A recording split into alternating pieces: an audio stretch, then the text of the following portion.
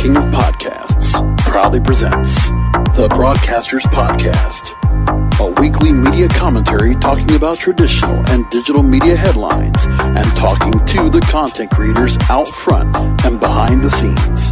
Here is the King of Podcasts. Here we are, episode 132 of the Broadcasters Podcast, King of Podcasts here with you. A lot of things to get into tonight. I have a brand new feature interview, which I'll have very shortly here on the program. Let me go and tell you who it is. It is best-selling author, activist, and actor Donnie O'Malley. He's the founder of Irreverent Warriors and also the founder of Veteran Entertainment Television, or you just call it Vet TV. We'll tell you all about that. Really, the interview with Donnie is is it's an eye-opening interview. How you can open your eyes when you're listening to an interview, it will open your eyes. You'll I was certainly opened up to the real truth when it comes to veterans and, you know, veterans' life. You know, for those that have served in the military and our perceptions of them and how the veterans look at it the other way around and how we really don't understand what's going on with what those that serve in the military, what they go through, and we just don't have a real grasp of what's going on. And that the programming and the content that Donnie puts together really serves the military with something that really relates and they can attach themselves to more than any portrayal of military that we've ever seen on television or in the movies. Because, according to Donnie, there's not a proper representation. There really isn't out there that really does what we think it is. Obviously, when we watch, you know, content, we see what we've seen, but it doesn't even come close to what real military life is like. And that's what I learned from the interview. So I'm going to let you go and hear that. It's a two part interview. Have about 32 minutes to go ahead and play for you a little bit later on, but a lot of things going on because there's a lot of media on the move. Got all that to bring out to you first.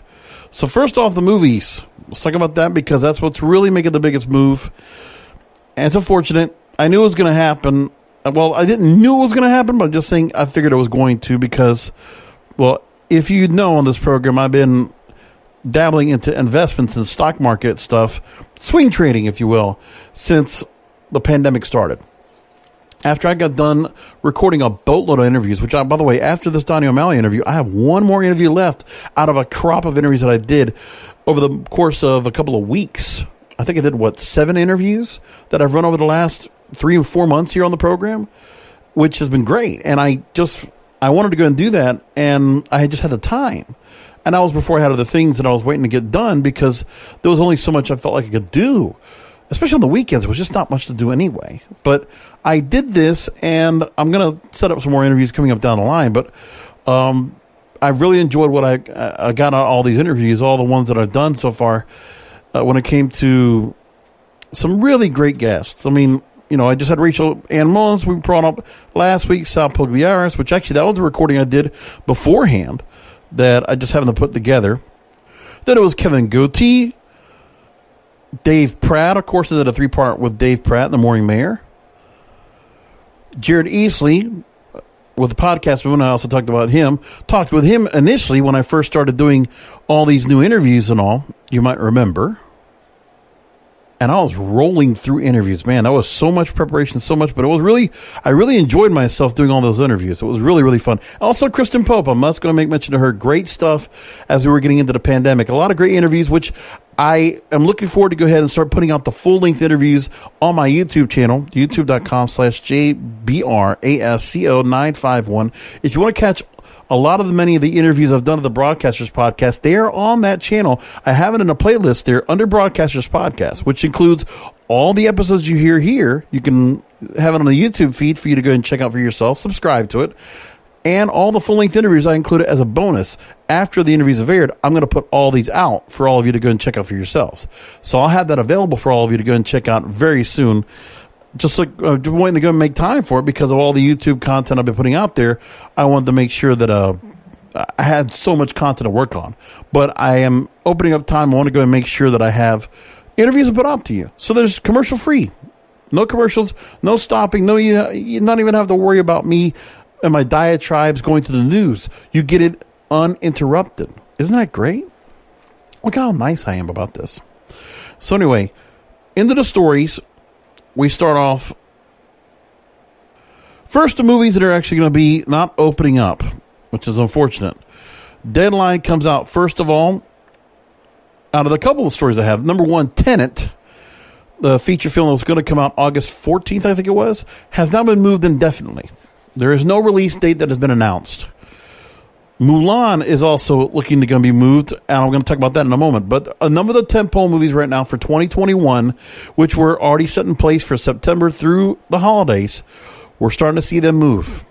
With all these moves, you're going to ask yourself, are the theaters going to be coming back within August as the plan? But of course, with all the rolling back of regulations, rolling back of closures for movie theaters in other places because of the pandemic, because of ongoing cases in select markets. Then the movie theaters have felt the need. And the thing is, is also you're talking about markets that are very important to the to the country because you're talking about California, New York, Florida, Texas, major states. California, New York, media meccas. You have to hope that those two areas come back and they're able to get things started with, uh, with getting uh, you know movies put together, television put together, and other things, and also the ex- exhibition for all these movies to have screenings, to have you know the, the chances for people to go and catch the red carpets of these movies if they're not being allowed, or you know whatever there might be the uh, the press rows or the junkets, all those things they're not going to happen now, or they're going to be done virtually.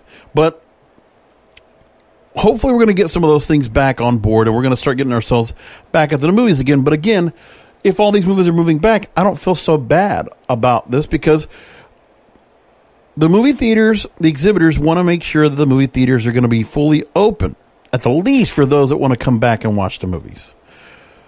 So all the theaters took a hit in terms of stock, but of course, when they all decided to go ahead and move and push back. They're all able to go ahead and withstand a few more months, or actually until next year. But of course, they don't want to go and be able to be stuck with having to go and pay off the debt and the equity they've had to go and put back into their their businesses because of what's going on. Like I've been fo- following AMC theaters for a long time. Regal, Cinemark, all the same. They're all pushing back to August. Now, I have not announced an official date or weekend they're going to open up in August, but that'll be coming up. The latest was July 31st, but here's what we got right now the latest news. Now, AMC is going to be reopening, they say, mid to late August. So at the moment, Labor Day weekend, Paramount's A Quiet Place will now be leaving Labor Day weekend for April 23rd, 2021. Top Gun Maverick is now moving from December 23rd to July 2nd, 2021. The fact that Top Gun will be in the summertime is not a bad thing. I, I can appreciate that.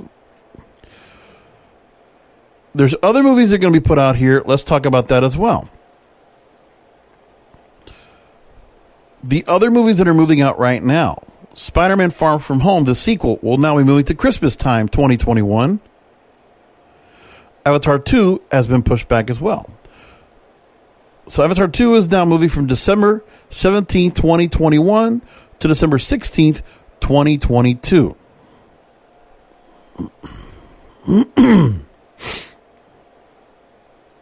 then there's Mulan, the Disney feature, which will no longer be August 21st, and it's unsetting the movie Disney for the time being. So there is no set release date for Mulan so Disney right now is not waiting to see where Warner Brothers places Tenet next, but they also don't want to have to keep rescheduling movies until things are certain that things will be up and running again.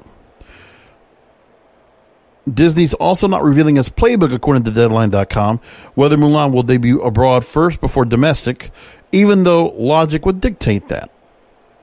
Other movies making moves. So the Avatar movies are all getting pushed back a year. They'll all be around Christmas time when they release, but they will all be pushed back a year.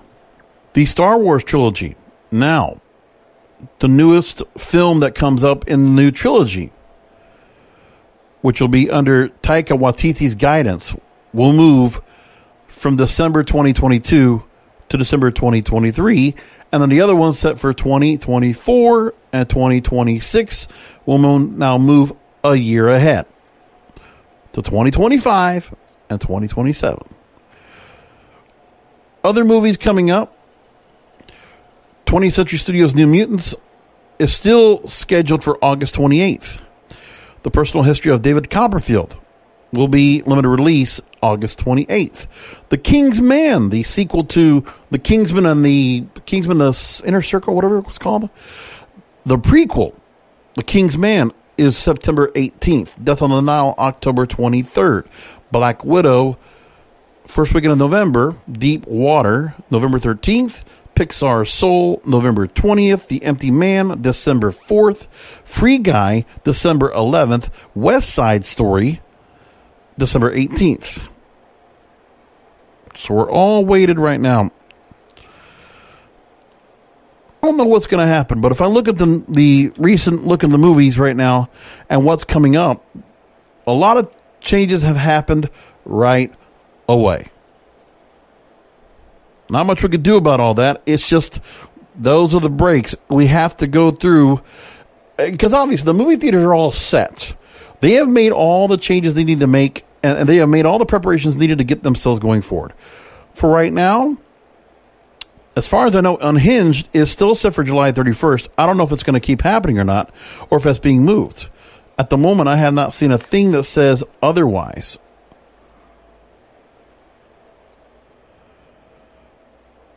Well, the latest story about Unhinged, it's now looking at August, but they have not moved the date yet. They have not scheduled a definite date. But now with Mulan moving off and other movies moving off, Unhinged still feels like that's going to be the first movie that comes back, regardless of anything else. When you look at the rest of it, a lot of limited movies coming out July 31st. And August, everything is limited. All the way up to August 21st, with Antebellum being the first wide release movie that will be available for theaters. So people might think that August 21st might be the earliest date possible. And some movies might make their way there if they think they can get an audience because they'll be a standalone movie towards older movies or movies that had come out prior to the pandemic. But other than that, there are no movies right now set really until September because then after that, Bill and Ted Face the Music will be the next movie, but that's a limited release there on September 1st. But they could do something with that. And again, we can see September is full of limited releases, a couple of wide releases right now, but it will be where people really feel like September is going to be where things will finally start. We'll finally, hopefully, be in a spot where we can get going. I mean, look, there are certain events that are already happening right now in the world of sports, as a matter of fact. We're already seeing baseball has finally started. The NBA has finally started. They're all they're all working in very you know unusual circumstances. Baseball is playing in open stadiums with no fans, empty stadiums. MLS, Major League Soccer, also playing in empty stadiums, and the NBA is playing in a bubble in Orlando at the Wide World of Sports. So that's where we are. It's a very interesting situation. But that's where we are with all of that. Now, as for the movie theaters, what are going to happen to those? Well, let's talk about the actual movie theaters themselves. AMC Theaters, first of all, I just mentioned that they're going to be pushing back until mid or late August at the latest.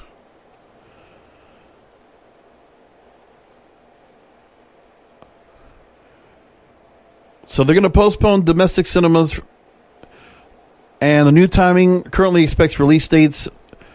As we see, movies have already started moving around, but they waited for AMC Theaters, the biggest exhibitor, to make their changes first. So they were going to have originally the majority of their locations open July 15th, would have already opened up.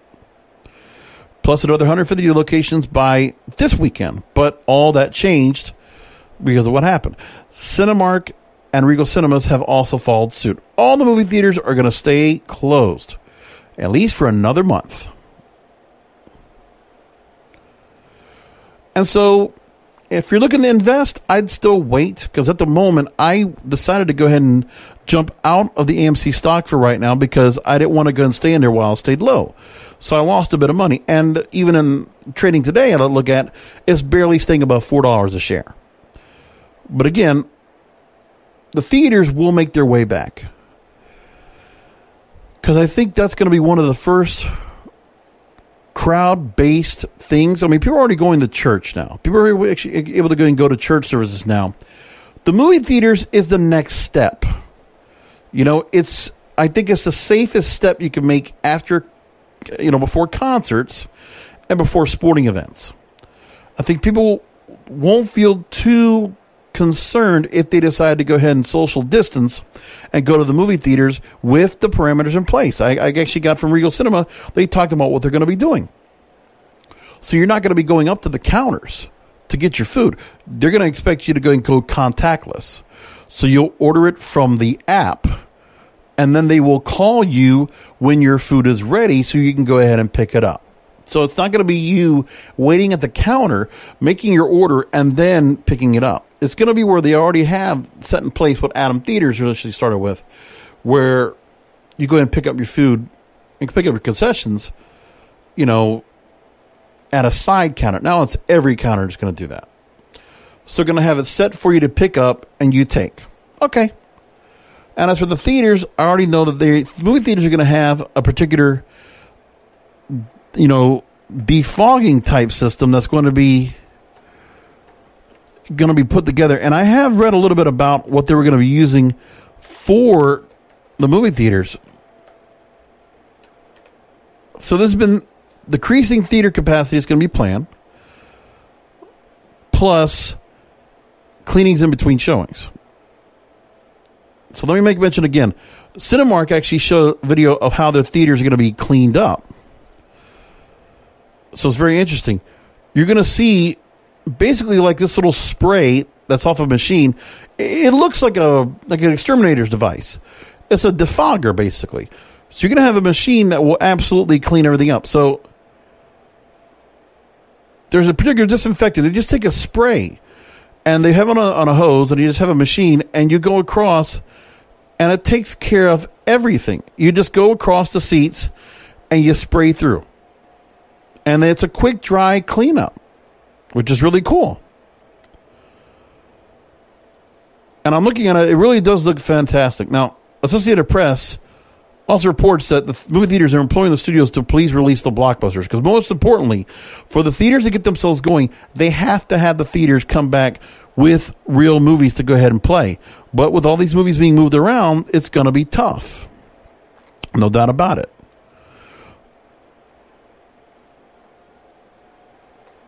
So, reading from the Associated Press. Movie houses say that despite far from ideal circumstances, it's time for new movies. A $50 billion annual business is brought to its knees. So, restaurants still have takeouts, airlines are able to continue to op- uh, operate with mask flyers. The theaters have not punched a single ticket since the end of March. Now there are some that are actually selling popcorn curbside. I haven't seen that yet. I need to go take a look at that myself. So the National Association of Theater Owners, John Fithian says, problem is we need their movies. Distributors who want to play movies theatrically, they can't wait until 100% of markets are allowed open because that's not going to happen until there's a vaccine widely available in the world. Now they're saying the old distribution model of big blockbusters needs to be rethought. So they're talking about an old fashioned release pattern, opening films overseas first, and in the U.S., opening at different times in different areas.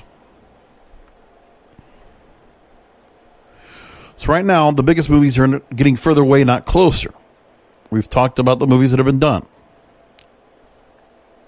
Studios have been loath to sacrifice billions of box office for their priciest and most popular releases. With distancing protocols and other measures, cinemas have reopened in parts of Europe, the Middle East, and South Korea, where there was a movie that was done in South Korea. Yeon Sang Ho's Train to Busan, an action sequel called Peninsula, did open to $13.2 million. And theaters did reopen this week in China with limited to 30% capacity. I remember what I told you about you can't even have concession. No concessions. How about that?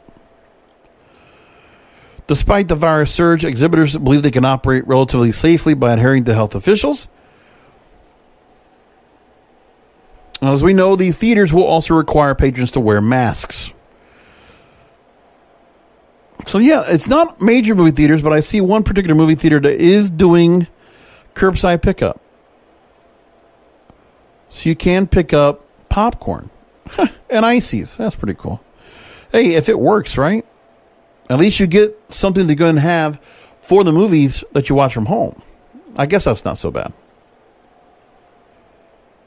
Okay, move along. There's a few other stories to bring up. Let's go into music next. TikTok, I've talked about recently here on the program a lot about what TikTok has done in order to be able to really make a big difference for artists to get their music out there. When you realize how many songs are out there that have been made popular thanks to TikTok. If you look at the current Billboard Hot 100 chart, a number of songs have been made possible thanks to TikTok and the dances that are being done in accordance with them. So, for instance, Rockstar is the number one song in the country. It's been number one for seven weeks. What's Poppin' from Jack Harlow. Uh, Blinding Lights, Savage from Megan Thee Stallion. Uh, Blinding Lights the Weeknd, Savage, Megan Thee Stallion. Roses SAINt JHN.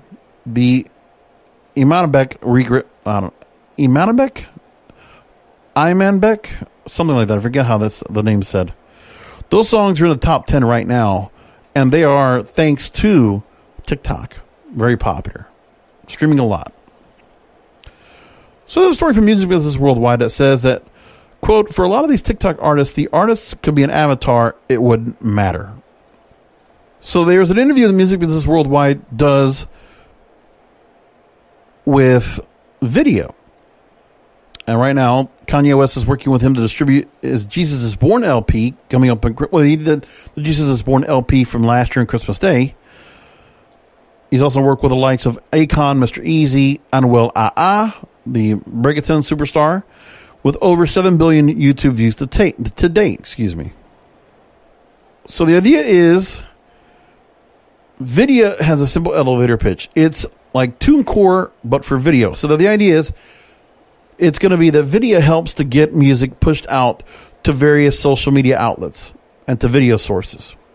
So to get your music on, they are prominently placed on YouTube or on TikTok.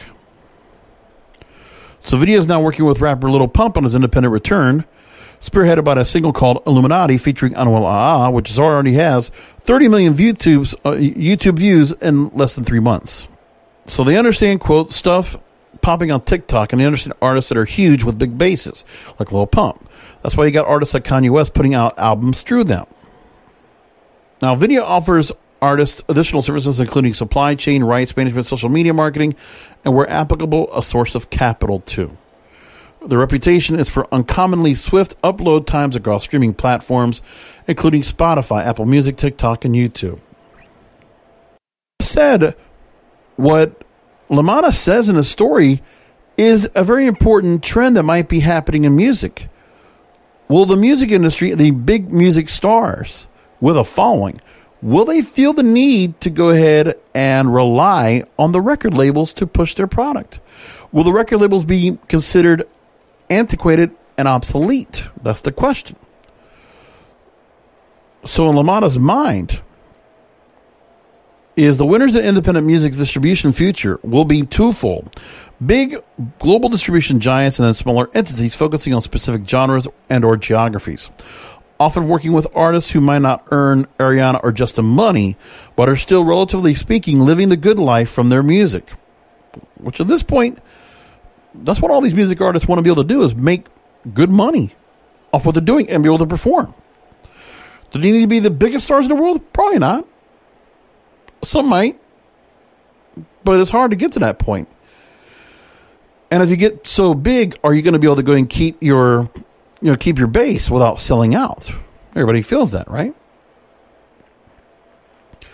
So says there's a thriving middle market right now he's seeing of artists right now. Artists are exiting major label deals with an infrastructure sound around them and a significant fan base. For specific genres, including hip hop, Latin trap, some of the Afro pop stuff, artists are realizing that their songs can be just as big, independent, maybe even bigger than going to the major system. Interesting. Also, to be long term in this market, you you have to be consistently remain irrelevant. You have to consistently remain relevant. You can't just go away if you're not putting stuff out at the frequency you need to be. You could fade to the background. And with the record labels, you are stuck to a system and through an era of music, which they call it, where you're waiting for the next album to drop.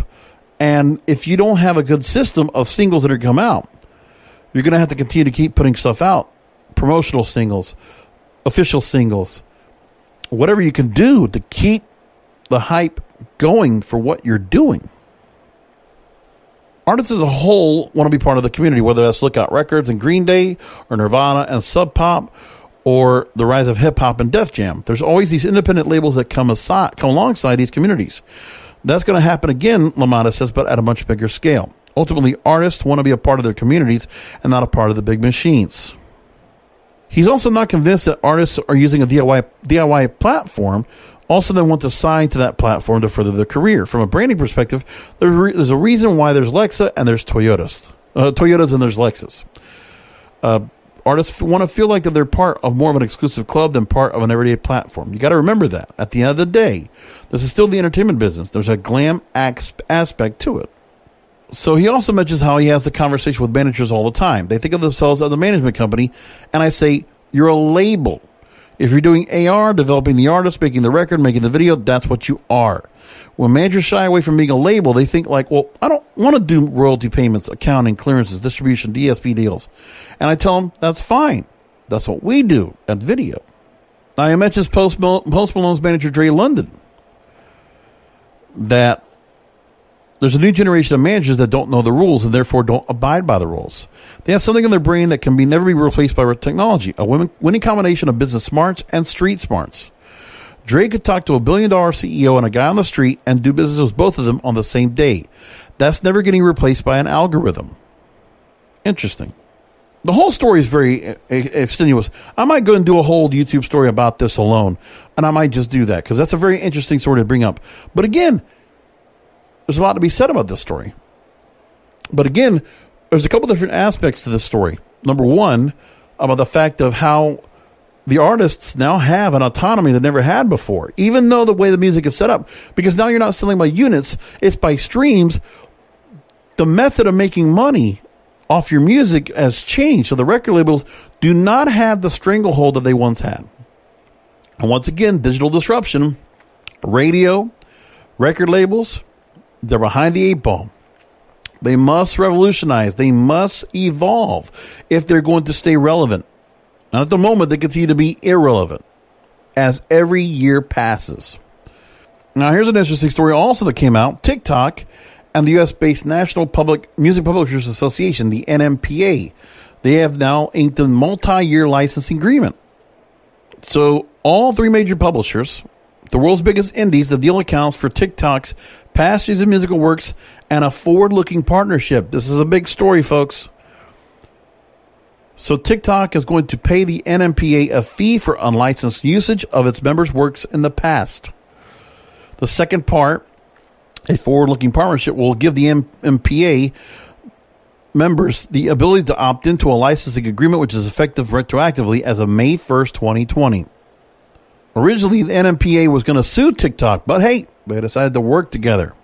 The NMPA says, uh, according to David Israelite, the CEO of the NMPA, he says that music, quote, is an important part of apps like TikTok, which merge songs with expression and popularize new music, which also giving new, while giving new life to classic songs.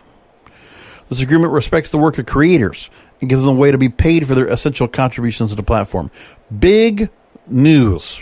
Very big news there. So appreciate that, folks. Major story right there. And good on TikTok to get that done. Again, we talked about it last week. TikTok is going to be able to go and keep themselves relevant. They're not going to be lost in the mix by being dropped down, which is important for them they're going to get a chance to survive and thrive. So no banning. It could become an American owned company. and they're going to be able to get this music, the, the music licensing. So TikTok will continue to keep its spot as the forefront of new music. That's huge.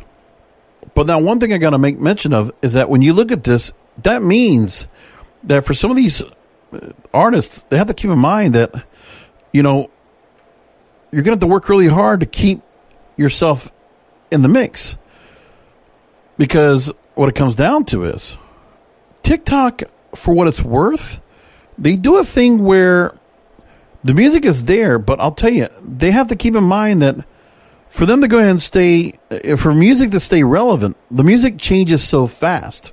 Because at this moment right now, three weeks ago, you could have said that Savage, Megan Thee Stallion, and Beyonce, that was a song that every girl wanted to dance to. Right now, as I record this program, and I tell you, it changes every week. Saweetie's Tap In is now the song that most girls are actually dancing to. Two weeks ago, before that, it was Rockstar. And to see Rockstar for about two to three weeks, people doing the dance to it. But then, as quick as it becomes popular, it goes away. But again, it's because TikTok is giving you that first rush of a new song.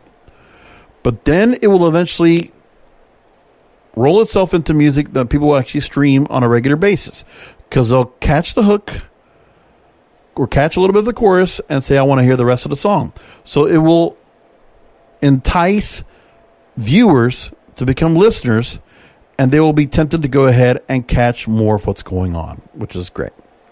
So, another story I want to bring up here is a big story when it comes to a virtual event and a United Masters gentleman by the name of Steve Stoute talking about the music industry and those artists that could go independent. Variety.com reports that, quote, Drake is about to get the biggest bag in the history of the music business by far. He says if Drake goes independent, the music business is done. Major words that got put out here. So, at a two day Select Con virtual conference, uh, Stoute, who's an entrepreneur and author who has previously worked at Sony Music, Interscope, Geffen A&M, before making his own marketing agency called Translation and a music distribution platform called United Masters. He has produced albums for Nas, Mariah Carey, Gwen He's worked with Gwen Stefani and Enrique Iglesias. He also executive produced the Eight Mile film, Eminem's feature film, the Academy Award winning soundtrack starring Eminem. Now, Stoute interviewed rapper Russ under the banner Independence, a conversation with Steve Stoute and Russ. During the panel, Russ laid down the blueprint blueprint of what might transpire if Drake, who signed the cash money via Universal Music Group, owned Republic Records, went independent. Quote, you think if Drake if Drake right now, completely independent, if Drake posts a picture on the gram of his new album, Lincoln Bio, fuck a Lincoln Bio, new album out, and he was fully independent, he would make $10 million a week for fucking 60 weeks. End quote. Then Stoute said, I said this before. Drake is about to come out in the next six months. Drake is about to get the biggest bag in the history of the music business by far. Both A and B, they don't want that to happen because the day that happens, they might as well close the business down. Russ made a point to say if Drake should go, quote, it'll fuck the whole shit up, end quote. So Russ did the math out loud in this particular event. He says Drake uploads God's plan on a digital distributor, so whatever money it is, less than ten dollars, right? Fine. Pay for the beat, 10k, 20k, 30k, 40k, whatever the fuck it is. And to get it mixed, four racks. So you're all $50,000 tops. That song, you owning it forever and getting paid weekly on it, you're making a million dollars a week off that song. It's different. If Drake goes independent, this whole industry gets turned upside down. That's why I'm independent.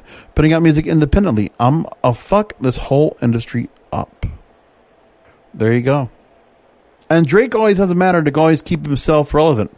He put a song with Future not too long ago, Life is Good, outside of an album, right? Well, he had the EP that came out, a Chicago Freestyle. So that's already been teased out there for people with an upcoming album coming up.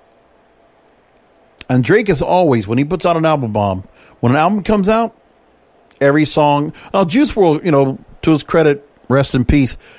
His album came out, Legends Never Die, and I'll tell you, it blew up. Took over the Billboard Hot 100. A lot of good songs on there. I actually like a few of those. Come and Go is my personal favorite. Has a good alternative punk vibe to it. I actually really like that a lot. Number two song in the country, according to Billboard. But of course, Ryan Seacrest wouldn't tell you that. Two other stories, and we're going to move along to my interview with Donnie O'Malley on the Broadcasters Podcast. I got that coming up for you, so stick around for that. RIP Cable TV from Variety.com. Why Hollywood is slowly make, killing its biggest moneymaker. As subscribers and viewers flee, media companies that once relied on cable TV are chasing streaming dollars instead. So they talk about MTV schedule, which if, I don't know if you know this, but this is really crazy. MTV has quietly morphed into almost a 24 7 offering of just one show. In late June, Ridiculousness, the Rob Dyrdek show, we've all seen it. It ran for 113 hours of the network's entire 168 hour lineup.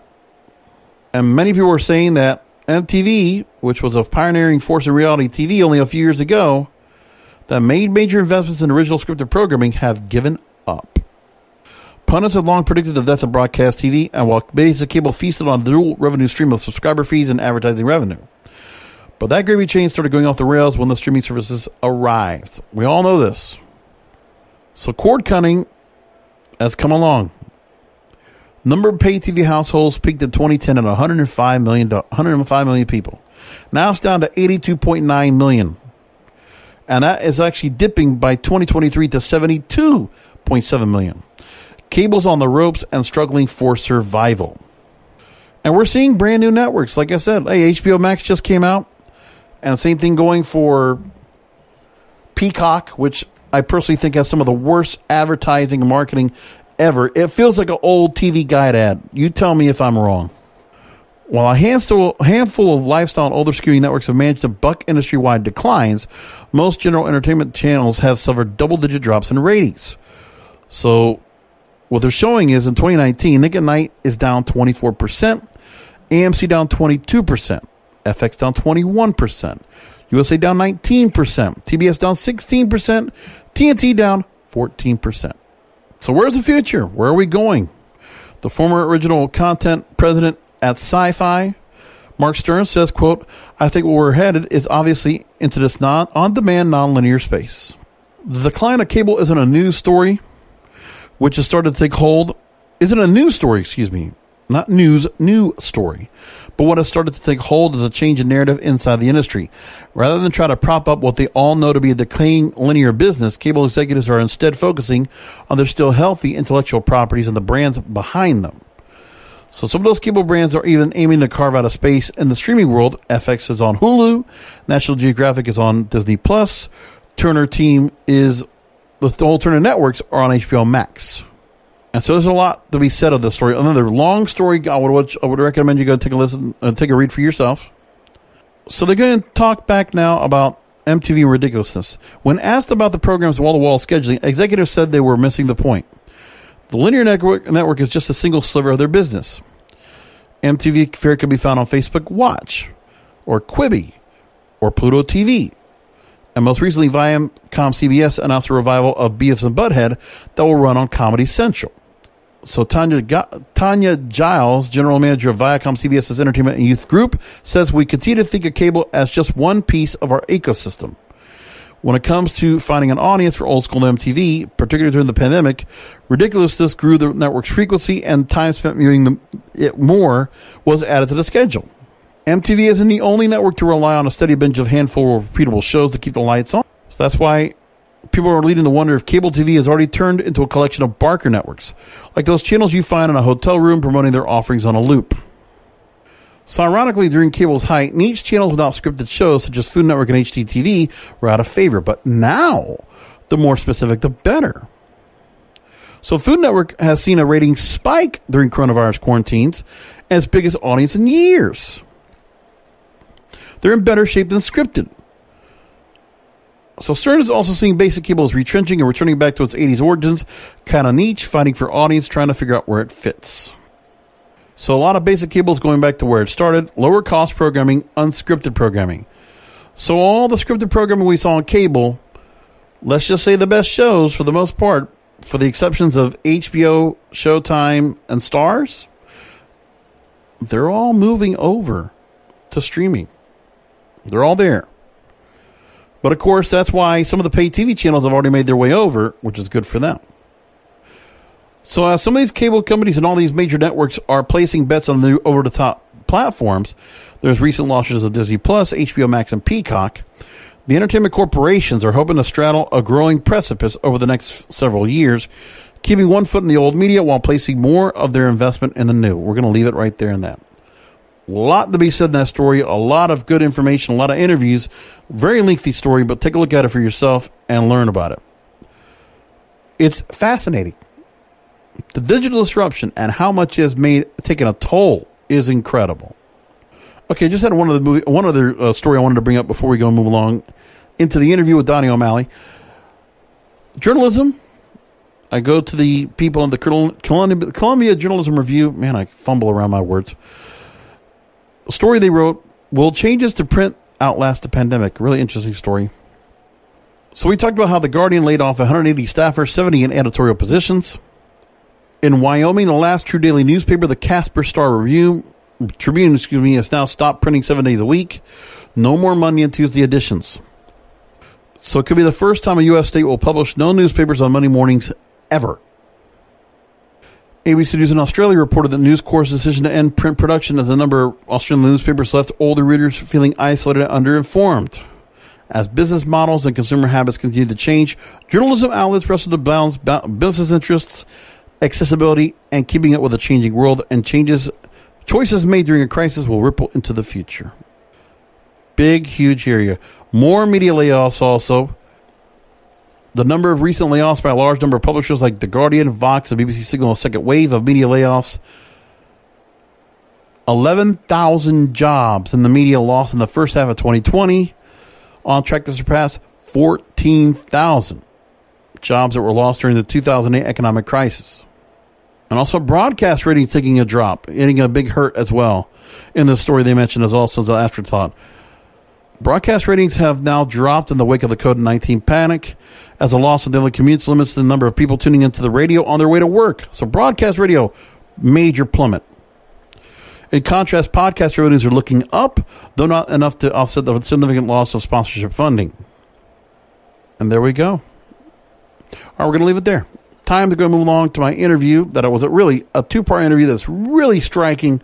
It hits a note that is strong truly, you hear me a couple times in this interview that I, I'm just like awestruck. I get taken back. And, you know, it was really a fascinating interview. And I'll tell you, you know, I really appreciate what Donnie gave me as an interview on this program oh, for this hour long interview that we did. It's quite interesting. So, again, best selling author, activist, and actor, Donnie O'Malley. Uh, by the way, he wrote the book Embarrassing Confessions of a Marine Lieutenant, satirizing his time in the Corps, which is available for all of you that can go look for it. We'll leave it there. Donnie O'Malley here on the Broadcasters Podcast. Here's part one of my interview with him. Enjoy. So yours truly is still recording in the middle of this coronavirus confinement as I record this, and hopefully by the time you hear this, it might be long gone and we'll be in our rear view mirror. We only can only hope. Uh, right now, I'm joined by best-selling author, activist, and actor the founder of Irreverent Warriors, and the founder of Veteran Entertainment Television, VET TV, Donnie O'Malley. Donnie, thanks for joining me. Thank you for having me, bro. I appreciate you. Hey, my pleasure. I want to give some context, so I'm going to read a little bit here and go through this extensive background on you and the service we're going to talk about. So, first of all, you're a retired Marine captain. Sounds like a movie already. Who spent nearly six years in the Corps. Uh, thank you for your service, Semper Fi, as an infantry officer, rifle platoon commander, and fire support team leader before doing your final stint in the Marines with the Wounded Warrior Battalion at Camp Pendleton, Oceanside, California. You are the CEO and lead writer, director, and producer of the video on demand streaming network VET TV. Uh, the service has more than 50,000 subscribers at a rate of $5 a month, marketed directly to members and veterans of the armed forces, particularly the extensive web savvy post 9 11 generation. So talk to me. Uh, well, let me put this point across as well. The network is, is described as this quote, don't expect anything here to be politically correct, professional, or honorable. Don't expect us to represent the U.S. military the way the commercials want us to, or the way you think we should. We made our sacrifice. We don't owe anyone, end quote. And in a recent interview, you said about this, quote, it really started, the idea of, of Vet TV started with a childhood desire to make people laugh. From that, grew to come up with my own version of Happy Madison Productions. Expand on all that there and your whole vision of creating Vet TV. I don't remember how I came across this. If it was a book that I had read or somebody I had talked to, and it, the question came up: if you had to do, if you had to pick a job for the rest of your life, and there was not working wasn't an option, right? You have to work in yeah. order to live during this life, and no matter what job you do, you're going to be paid the same thing, say 60k and maybe that's starting at 60K might cap out at 100. Right? So you have to work. No matter what you do, you're going to be paid the same. What would you choose to do? And I thought, okay, well, that's easy. I would start my own Happy Madison Productions because Adam Sandler, one of my favorite comedians, mm-hmm. started a production company where he employed all of his friends and his family and they make comedies for a living. Like they make people laugh for a living and they make each other laugh. And that's their jobs. So I was like, well, if I had the choice, that's what I would do. And so I made the decision at 19 years old, I'm going to start my version of Happy Madison Productions one day. I want to make film and television and make people laugh. And I thought at the time that I I would achieve that goal way later in life.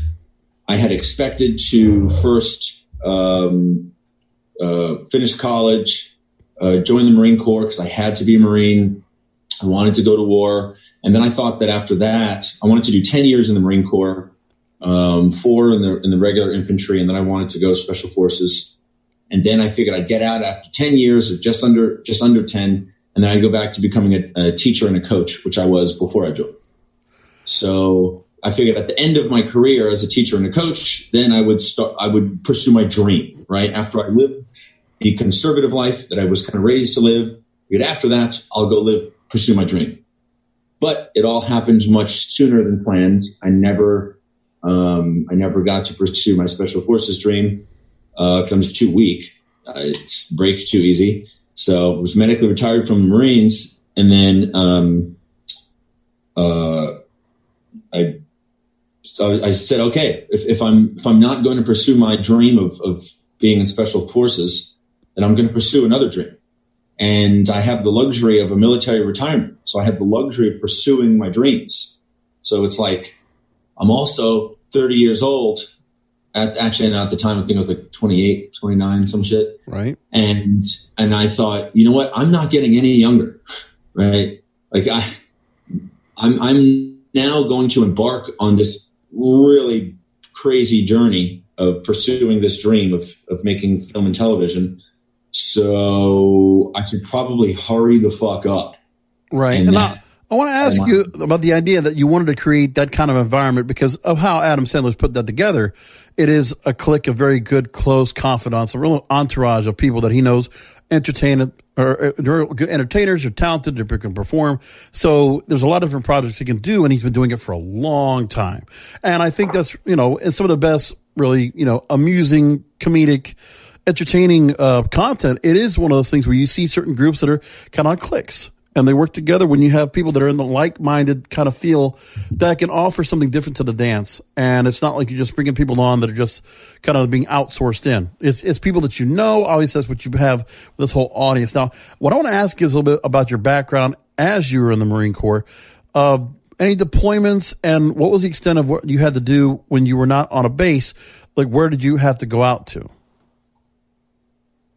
So two deployments. First was to southeast asia mm-hmm. uh, Thailand, Indonesia, Okinawa, and then right off the coast of Japan during the uh, the nuclear reactor thing in 2011. Yeah, um, we were doing humanitarian aid stuff there. And when I say we, I mean the enlisted Marines. I wasn't doing shit. Um, but but imagine if you're out there in Southeast Asia, you're thinking apocalypse now. It's like, oh, love the smell of napalm in the morning, and all that kind of like cliche stuff. Yeah, yeah, yeah. Well, uh, well, I mean, we were on a ship. We didn't leave, so it was okay. more just like you know, when, when can we go eat food and, and lift weights? It was like food, weights, and then I read a lot of books. Okay. So that was first appointment.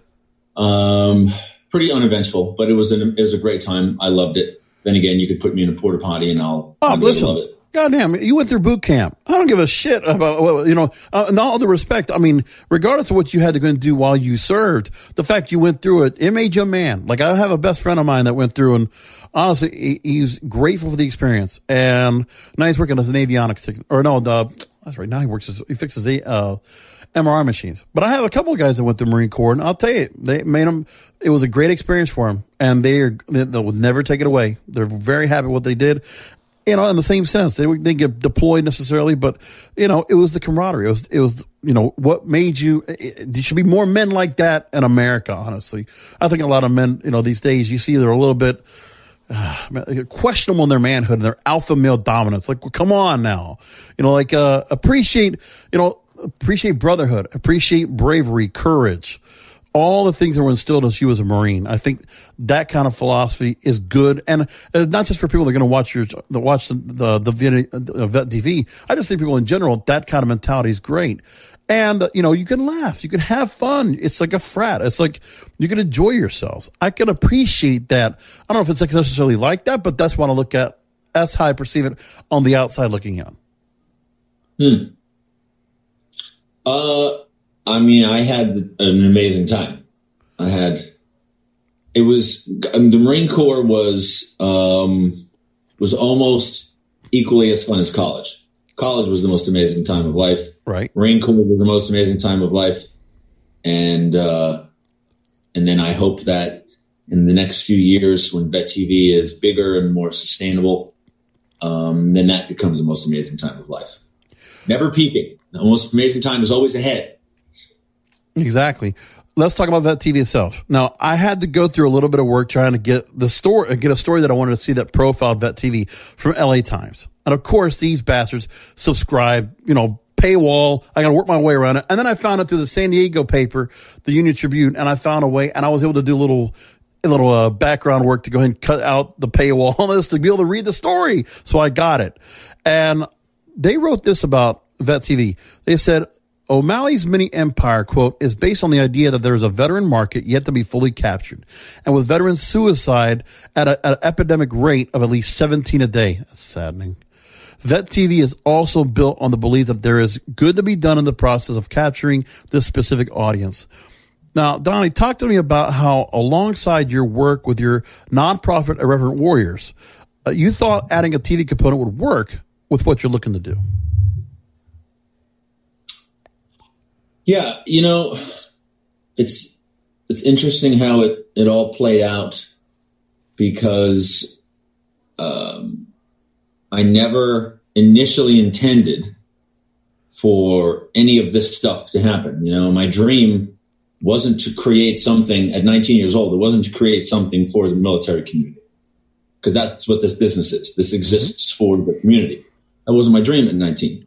Um, but I um, I was really good about um, jumping at opportunities that presented themselves, and because I'm just a very engaged person uh, with whatever it is that I'm doing, I'm always thinking. My my brain is just nuts.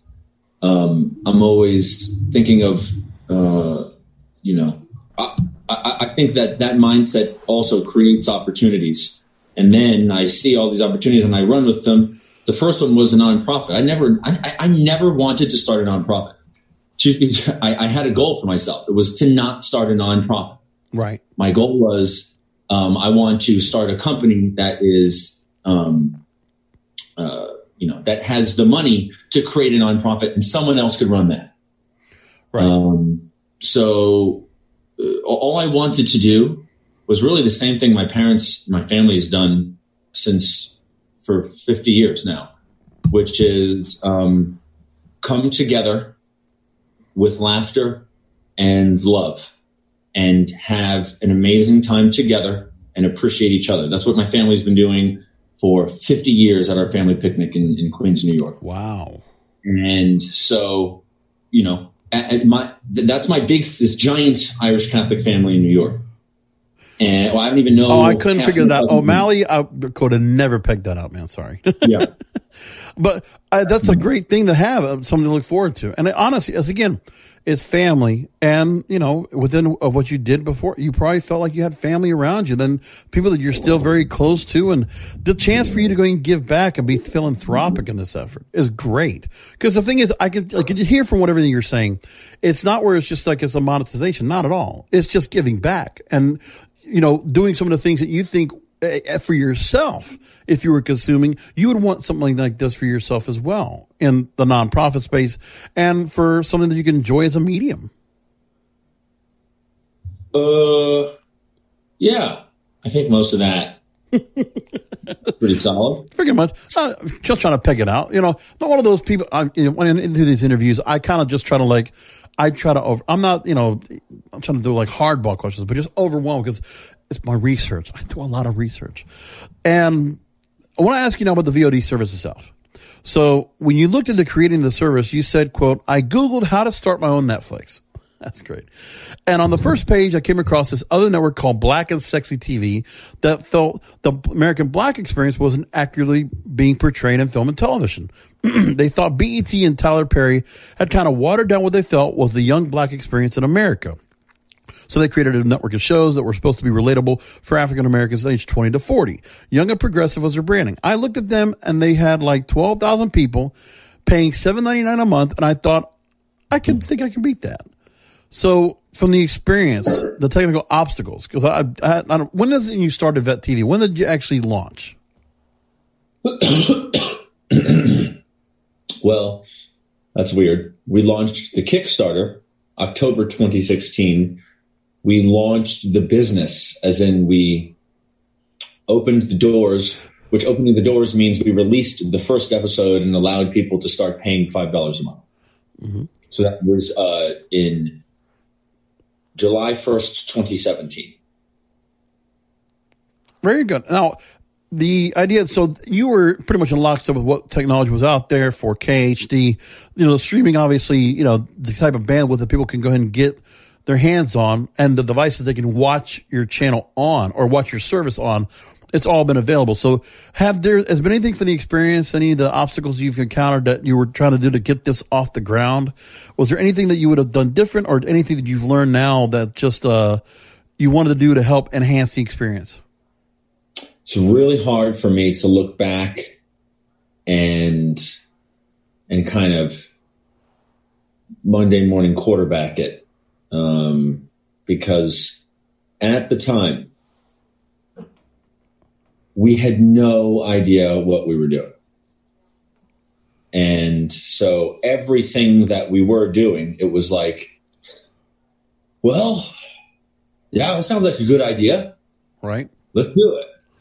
And we did that with everything. And many of those things were not good ideas, down to I mean, I, am I'm, I'm talking everything. Right. So, um,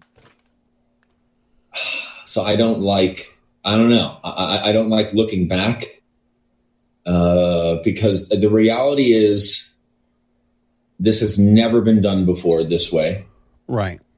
It's never been done with no investment.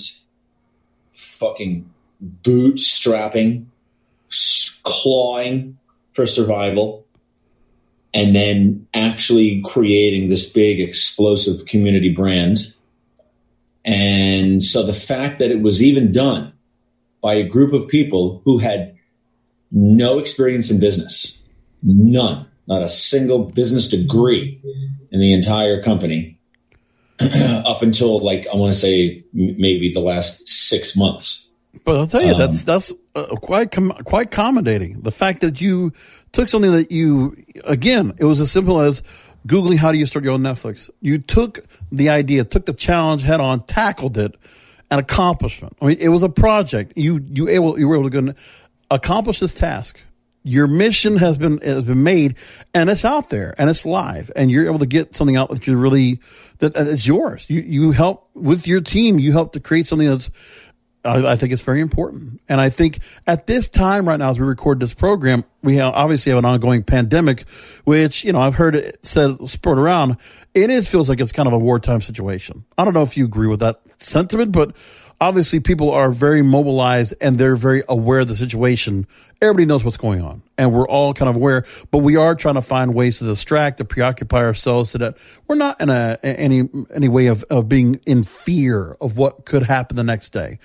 So people are obviously into streaming content. So there are a lot of places that, uh, you know, are really getting the advantage in an unfortunate way, but you know, platforms like yours might see an actual surge in viewers. A morning consult survey they conducted on March 6th through March 9th, they said that one in 10 adults said they anticipated spending more money on movie and TV streaming services because of the coronavirus pandemic. 6% said they were likely to spend more on music for the same reason. So is there anything you've seen right now, more engagement, whether it's social media, whether it's people subscribing to the service, um, do you think there's any issues with bandwidth issues you might have to sustain growing numbers that might come as a result? Um, I can't speak to exact data. Okay, right. so I don't want to shit yet.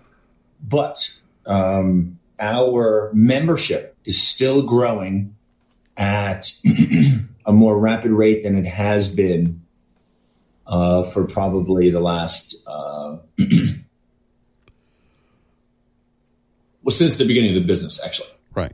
Um, now it was our membership has been growing very rapidly for the last several months because we've been pouring a ton of money into marketing.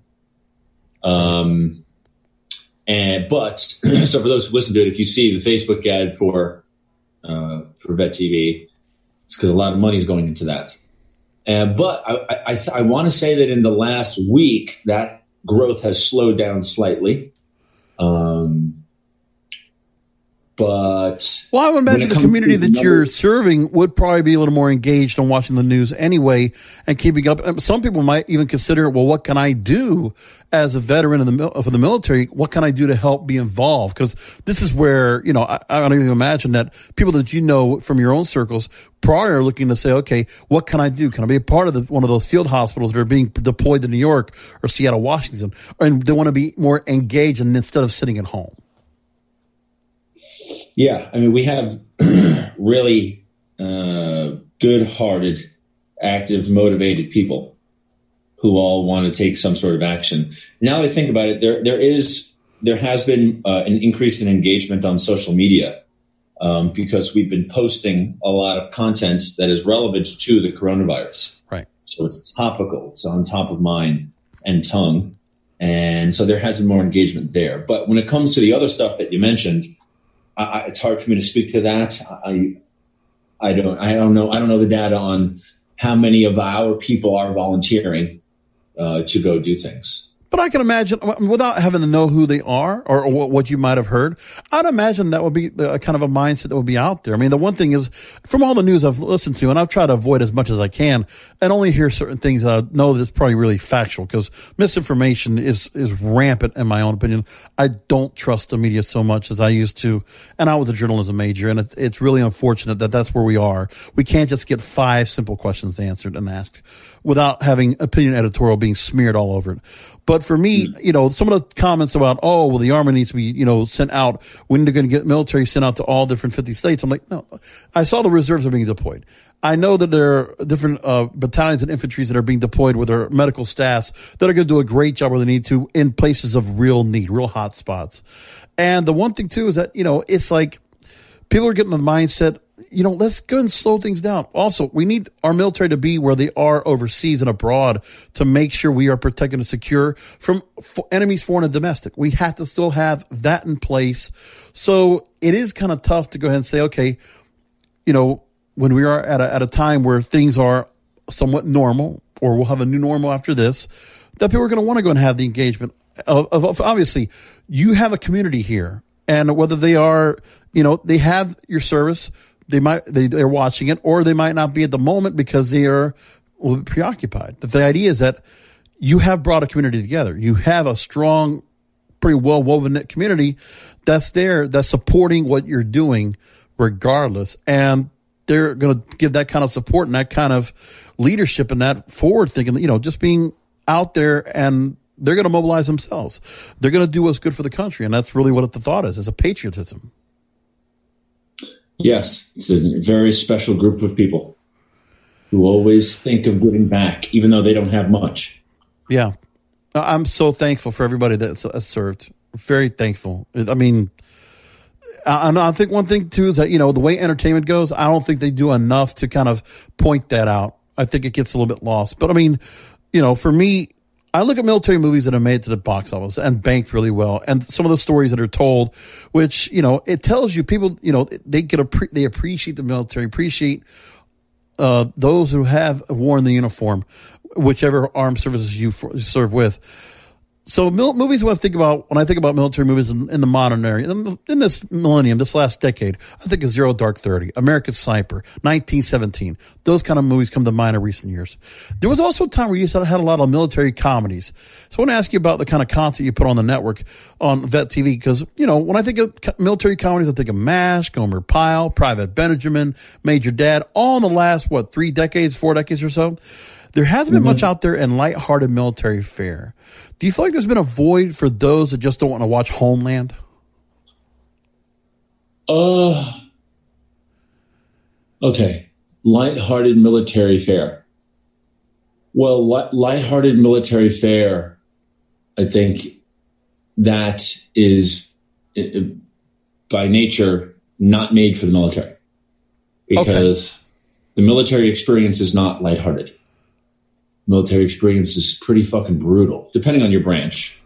Um, you know, some experiences are, are more brutal than others, but like, what is the what is the reason for the existence of the military? It's to defend the nation. And what does that mean? That means you're prepared to go toe to toe with another nation's army and fucking slaughter all of them. Your yeah. job is to slaughter in large quantities efficiently and love it right? That is why we exist. If you don't love that, then you're not going to be great at it. And you have to be great to win. Because if you, if you don't win, your nation submits to the will of another nation. So you must win. So you must be the best. So you must love it. Now, with that being said, light-hearted military comedy is something that civilians make to entertain themselves. Uh, okay. And think that they are maybe they think they're giving back, or maybe they just think this is a cool world we want to recreate because we think it's cool. Wouldn't it be funny if we made a military comedy? You know, how did how was Stripes written? Wouldn't it be funny if these two guys did this in the military? You know, but we look at that and we're like, that's fucking stupid. That has my experience was nothing like that. So they're on the screen, they're watching this experience that is completely fake. It's imaginative. It's not real. And nothing about what's on the screen is like, is making them feel good. Right. So they're, they're, they're being, they're being rubbed wrong every time they see something fucked up with the uniform, something fucked up about the way they talk to each other. They're thinking, oh, we don't talk like that. Nobody right. would say that. that. A guy of that rank wouldn't do that to that guy. You know, like those are the things that go through our heads. So immediately we're just kind of like, nah, but then uh, it's not funny, and nothing about it kind of makes us feel good about our military experience. And so as a result, we generally don't love watching military stuff that's made by anyone other than Vet TV. Now, there are exceptions. There are, there are a handful of exceptions. There's like Full Metal Jacket, Generation Kill, Band of Brothers, um, would would say Saving Private Ryan would like a would fifteen seventeen yeah, to Paris be something that would be in that same realm too? There, uh, for me personally, I can't speak for everyone. Me personally, I love the realism of Saving Private Ryan. However, uh-huh. in too many instances, they took it dramatic, and they're in the church, and the guy's telling a story about how he, um, you know, when his mom used to come in to talk to him, he used to pretend like he was asleep when all his mom wanted to do was just talk to her son. And he took that opportunity away from her and he felt horrible about it. Now, why would I want to watch that? What about that would excite me? Why would I want to just relive this massive pain? I wouldn't. Yeah. I want to watch Wow. a military battle played realistically. I want to watch guys blow up the way I've seen it in real life. I want them to keep it fucking real. And Yeah. then I want to laugh hysterically. And I want to Right. laugh at the exact same shit that I used to laugh at in combat. Because minutes after a dude fucking blows up, we're making jokes. Right. Right. Right. And some might say, "Oh no, you know, it's not appropriate for you to to to to make jokes about that." And it's like, not appropriate. Who the fuck are you to tell a guy in combat what's a, an appropriate way to deal with watching someone blow up? Who You know- you? Donnie, you're, I, I, I, you know what? I'm not going to understand it. You're absolutely right. And I feel kind of stupid because I really, you know, when I put that question there, I was just thinking of the fact that, you know, they put all the, I mean, there is all this content that's been out there that's beforehand, but the truth is that's what vet TV is supposed to be. It's supposed to be for veteran, by veterans for veterans. You're really putting out content. So the stereotype, um, it's unfortunate, but I've been stuck with that stereotype because I thought that would be like, you know, you know, it, it feels really stupid now when I think about it because you you've made it clear. Why would anybody want to look at it like that? So you're given to give that real experience, and I mean I, that's one thing why I think people are going to should take a look at what Vet TV is because then you see from the real perspective. That I think is very important because obviously people are interested in the content. There's a reason why people want to watch World War II in color or watch History Channel or, you know, catch all these movies that are coming out. There's all these stories that want to be told. And the fact of the matter is that you're doing it for a perspective for the people that were, that can relate the most and understand this more than anybody else. And I appreciate that. Is there anything out there that you think that even resembles what is the real experience? I mean, Full Metal Jacket, you said before, and you mentioned others. I'm just wondering, is there anything of the current sense right now that really gives that same sense? Because for me, I always felt like Homeland was very realistic in my eyes, the way they put that together. Uh, I can't speak to Homeland. I never saw it. Okay. Well, you've been Yeah, working on your own content, so I can imagine if you've been doing that for a while. But you know, that they're probably just you know that really gives me a different mindset. Like if I had to think of the programming, you can't just be any everyday programmer and do this. You that's why you have to do this yourself because nobody else. If you brought somebody else from the outside and said, "Oh, we'll just make another, uh, we'll make another mash," we can do well. We can make that. No. Like Ron Howard just tried to do. Right, and that's what, that's if somebody else were brought into off from the outside, that's exactly what they would do, and that's completely against what really this should be. It's not just not that it couldn't be, but it's this is what it should be, what Vet TV is supposed to be. Yeah. But then again, Yeah. when it is Vet TV, and I see the entertainment side, it is something to be said about where entertainment. It's a it, that word has a different, a little bit slight definition change. I would imagine. Was that right? Um, Yes. So so for us, um, uh, I, I actually I just kind of thought. No, I didn't think of this. I read this recently, but we kind of classify as community filmmakers, right? We are creating film for a specific community of people. It is made in conjunction with them. They tell us what they want to see. They make sure that the script is um, is is authentic. Um, they are on our sets as advisors, making sure that the sets look authentic, Wow. and um, our directors know what is authentic. So, you know, we, we are speaking to this community, and um, it's it's a different time. It's a whole different style. It's like just let me just give an example. So we're finally, for the first time now, we're working with people who have been professional screenwriters for many years, Uh-huh. and we're contracting them um, the writing of some of our shows in conjunction with one of our people. So um, for a couple of these screenwriters, you know, they hand us some stuff, some outlines uh, of the project, and we're reading it. We're like, no, that wouldn't happen. This guy would never do this. He wouldn't talk like that. That sounds cheesy. Yeah. This is something, something, something, something. And these are guys who have been screenwriting for 20 years. They Just- know how to fucking write screenplays. Right, right. We've only been doing, we're, we are all professional screenwriters. However, we've only been doing this for a couple of years. So now, h- why is it that this guy, who's a much better writer than all of us, is submitting stuff to us where we're just like, "Ugh, that's not it. That's not it. That's not it. It's because the traditional screenwriting process for fiction Yeah. doesn't value authenticity the way that TV values authenticity.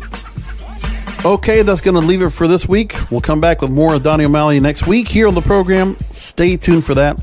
And as always, until next week, remember content is king, and the control of your content is in your hands. Thank you for listening to the Broadcasters Podcast, presented by BroadcastersPodcast.com and KingofPodcasts.com. The Broadcasters Podcast is brought to you by KingofPodcasts.com slash Amazon. If Amazon is good enough for the King of Podcasts, it most certainly is good for you. KingofPodcasts.com slash Amazon. And don't forget to check out the King of Podcasts wrestling program. The Wrestling is Real podcast, exclusively at KingofPodcasts.com.